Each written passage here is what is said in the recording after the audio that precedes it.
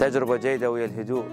هذا شيء أنصح الكل أن يجربه أن يبتعد شوية عن المدينة عن الروتين اليومي وأن يروح المكان هادئ جدا لوحده بس هو أصدقائه